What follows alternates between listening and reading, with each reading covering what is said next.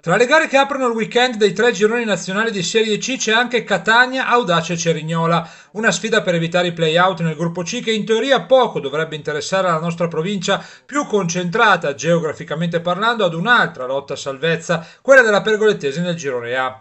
E invece Catania, Audace e Cerignola ha un suo fascino particolare che si collega un migliaio di chilometri più a nord al territorio casalasco. È infatti il derby tra due figli della zona sud-est della nostra provincia che si sfidano per la prima volta.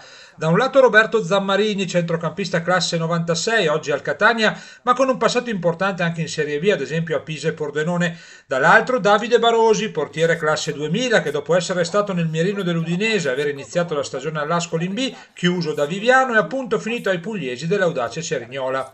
Un incontro che mette in palio punti preziosi, Zammarini di Gussola cerca col suo Catania un successo che darebbe senso alla finale di Coppa Italia conquistata. Vincere il trofeo significa infatti andare avanti nella lotteria playoff e saltare alcuni turni, non però se si finisce dentro i playout distanti soltanto 4 punti.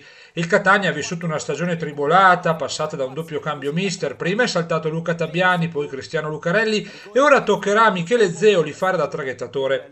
L'audace Cerignola se la passa leggermente meglio, ma non è al sicuro, tanto che qui è stato esonerato Ivan Tisci e al suo posto è appena arrivato Giuseppe Raffaele. Per capire il problema dei pugliesi basta ricordare che dall'arrivo di Barosi, originario di Calvatone, a gennaio non hanno ancora vinto una partita, pur avendo collezionato pareggi che regalano ad oggi una tranquilla, relativamente quota 40.